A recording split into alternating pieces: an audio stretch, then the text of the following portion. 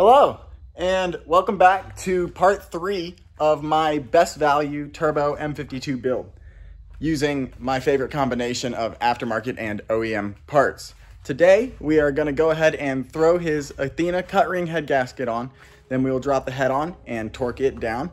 Once that's done, we will put in his custom cams and time them, and then throw in his Vanos. Now, if y'all hang out and watch the whole thing, which the algorithm really loves, then at the end, I will show you guys how we can rebuild a Vanos for free, for free, with no parts at all and fix the rattle. If you're pinching pennies, this is a good way to do it. All right, guys, you're gonna enjoy this one. Let's jump in.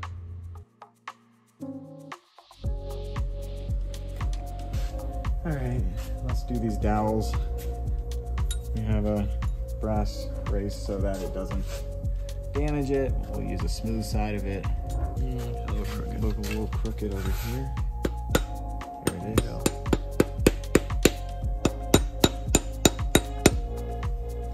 There we go.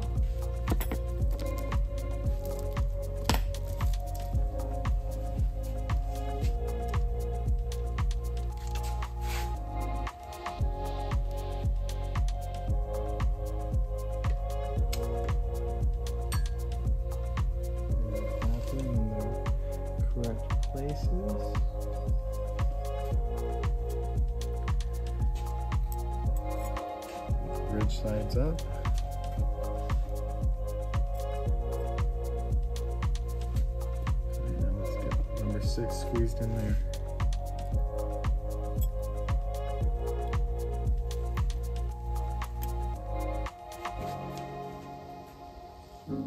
Ready to drop the head on. So can you be balanced? So I'm gonna hold on the right side so it's all on your right side. I gotta run the chain through. You ready?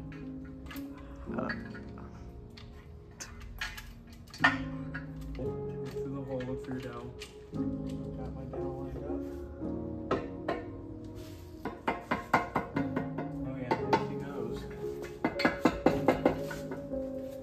Good. And those rings were all happy. I'm very confident of that one. Bueno. Bueno.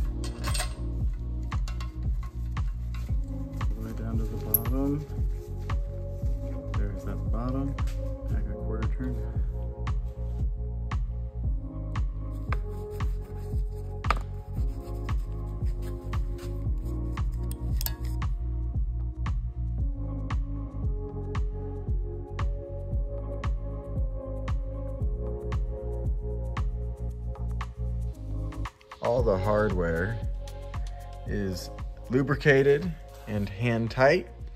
The washers are clean and dry on the bottom. Threads are lubricated, nuts are lubricated.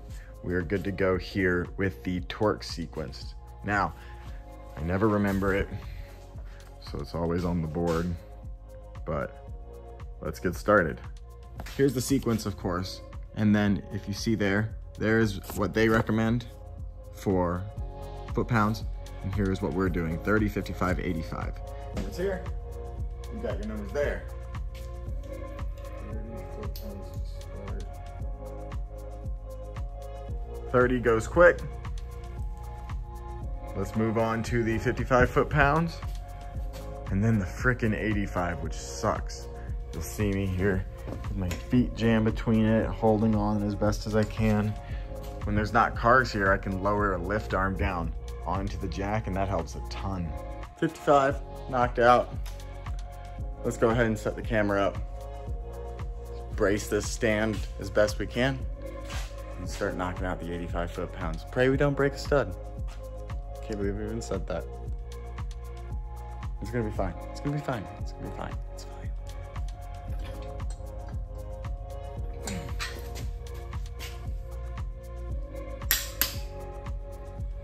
Whew.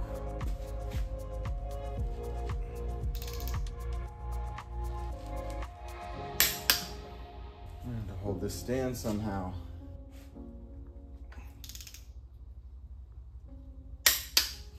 Gosh, this is so much easier with your help. Last one.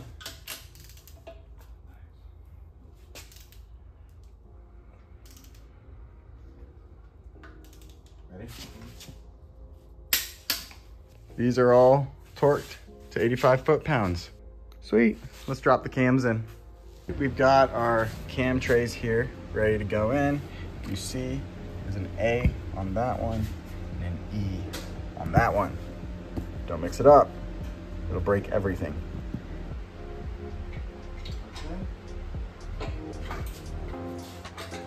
Thank you. Now let's lean it the other way.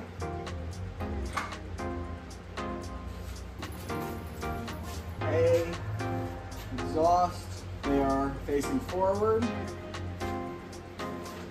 Let's drop these cams in. I love the green stuff, man.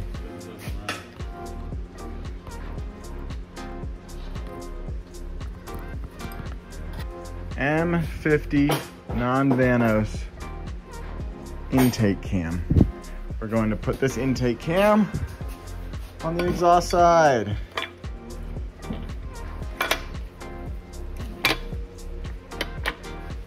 And then we have our M54B30 intake cam, the intake side.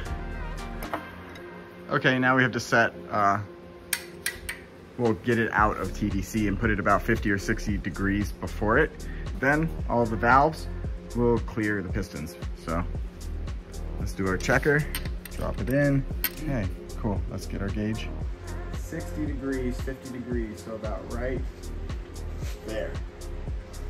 Then we know that none of the valves are gonna hit the pistons when we squish these cams down in and press, assumedly press whichever lobes are touching their rockers and press everything down. All right, now I can show you guys. TDC's there, we are right here. Between 10 and 11 o'clock from TDC, drops all the pistons low enough that the valves won't hit them as we turn these cams over to tighten them and work them into place. So this cam's got some pretty decent scores. You can see right here when you look in underneath the lube I just applied. But with these cams and these uh, cam journals, it does not matter if there's mild scoring like that at all. Uh, and my buddy even polished this one up on his lathe a little bit just to clean it a little but you can see they're still violently noticeable. Oh, you know what? These aren't even my cams. These are uh, Jackson's cams. So that shows I have those same score marks on my cams. So it's really not an issue. Not an issue. Which cams are the ones that the lobes are going to be touching? We're gonna do this one and this one. A turns turn slowly. You see the cam is lowering itself down into place as it presses the valves open on cylinders two and cylinders four.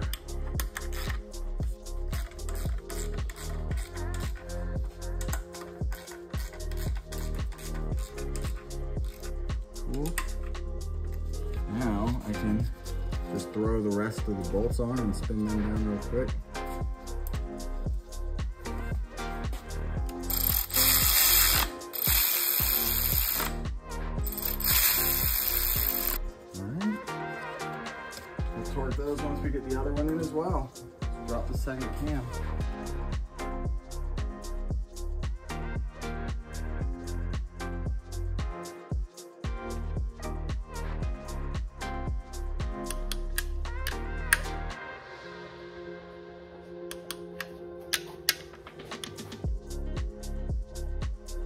Okay, as y'all can see, cam turns nice and easy. And since we have it dropped off of TDC, I can spin this all the way around until I get those basically lined up pointing up and at each other.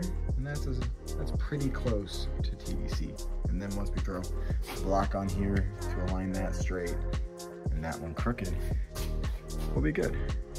Alien engineering blocks, we have a four degree advance on the intake cam and then this 101 degree uh, non-Vanos cam, basically.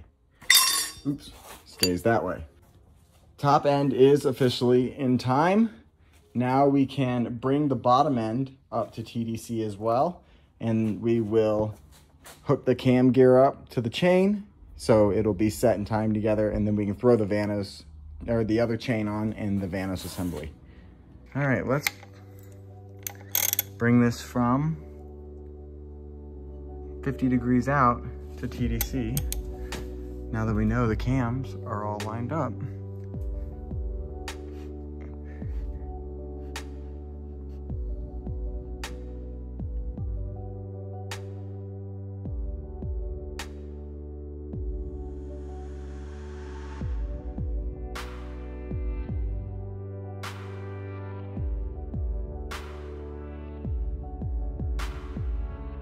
And all of these are M6 hardware, so that's about 10 Newton meters.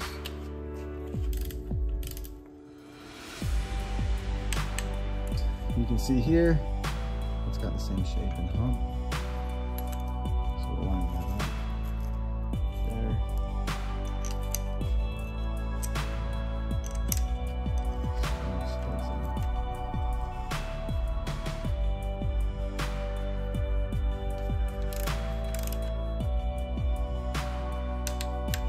Had it zip tied between it so that we never lost this on the gears. Because if so, you're slowly turning one of these to line them back up together.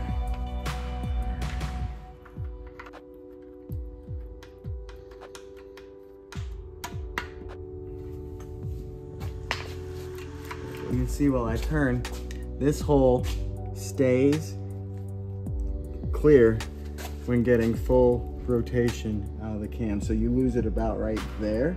So I was messing around with his Vanos gears and it just wasn't lining up correctly. For reference, every time this was all the way over here, this hole was starting to disappear behind that gear.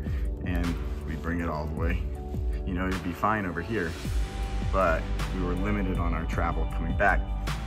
So after staring at it for a while, I went ahead and marked this gear to the arrow and moved it one chain link left.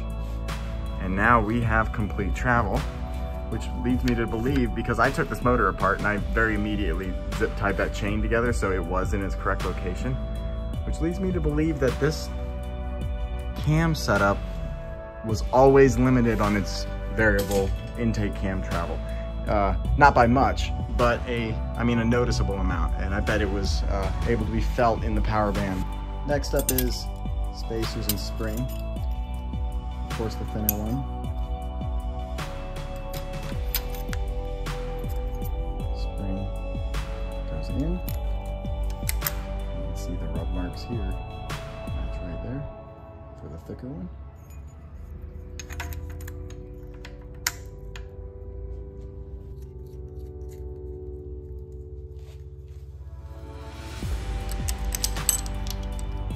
Everything is just going to be hand tight for now so that it can turn while we set Vanos.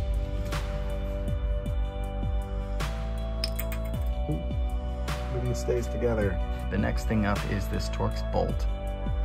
This one's actually reverse threaded.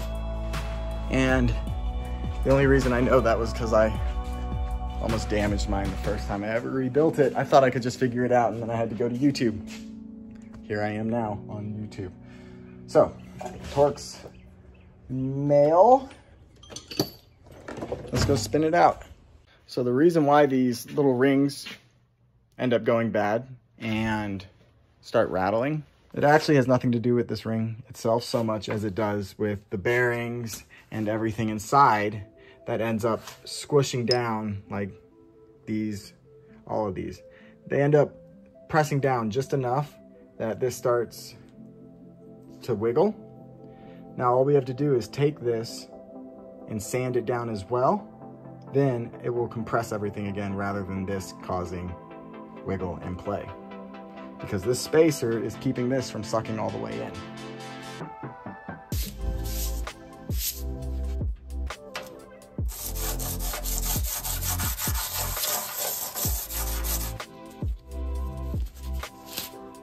Gloves catching already.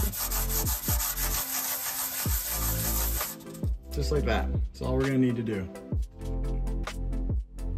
And after we took it, quick sand, threw it back together, torqued it down, there's no more play. So big thanks to Vlad because I was about to buy a new kit with a new ring and new O-rings and stuff. And he said, for now, you're in a rush, just sand it down. So good to know. In the future, if like we have leaks and stuff like that, we can replace this outer seal here. But otherwise, that's a rebuilt Vanos unit. That took no time at all. If you look down in here, you can see them. They are incredibly hard to find and they stretch really easily. So do not fuck them up. They're like 10 Newton meters, I believe. I'll put, I'll put it up on the screen, course. Here we go. So this guy, all the way to the right. See here. There we go. We're all the way to the right. Set this in and turn this gear until we kind of start to boom, fall into place. There it is. That is a installed Vanos. Hell yeah. Yeah, so It's done, boys. Jackson got here. I was in a bit of a rush, uh, so I threw the Vanos back together. We threw it back in and timed it like y'all saw, and uh, the motor's done and in the car. He's missing a couple things that he needs to get, like an intake cam cap. Uh, then he's gonna do his valve cover gasket once he gets that, and then the oil pan gasket. So I just temporarily threw those on, but it's in the car. Tossing the rig. Time to go north. Look at that. Good Things automotive. Hell yeah, brother. Nice and safe, I hope. Uh, shake test is pretty well. I like it. One tire's good though. Look at that. Give it a shake. and we're good to go. No, dude, that shook the whole truck. Not a chance. Not a chance. And that, my friends, is another completed Good Things motor out the door. I'm real excited for Jackson. That one on like 10 psi should make 8 psi, 10 psi. It should make 400 wheel. At 12 to 14, he should be making 450. That thing's gonna make some power. So that's it. Another motor out the door. I really appreciate you guys hanging out for this one. Keep a lookout for that root beer brown E36 with a Good Things auto banner on it up at Linear Raceplex. By the time this video comes out, hell, it might be running and up there testing. So I appreciate you guys. Have a really good day. I'll see you for the next one.